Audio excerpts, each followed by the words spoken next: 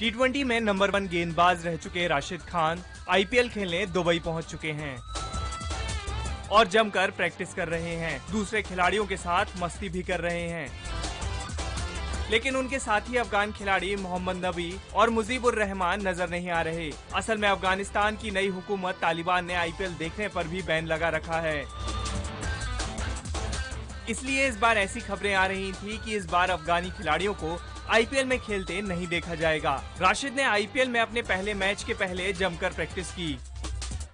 वहीं इस बार तालिबानी हुकूमत के बावजूद 17 अक्टूबर से शुरू होने जा रहे टी वर्ल्ड कप के लिए अफ़गानिस्तान की टीम चुनी गई है और कप्तान उसे ही बनाया गया है जो सोशल मीडिया में सबसे ज़्यादा बातें कर रहा था राशिद खान। लेकिन तालिबान ने देश में आईपीएल देखने पर बैन लगा दिया। इसी के बाद राशिद खान ने ये कहकर अफगान टी क्रिकेट टीम की कप्तानी छोड़ दी कि अफ़गानिस्तान क्रिकेट बोर्ड ने टीम चुनने से पहले उनकी सहमति नहीं ली।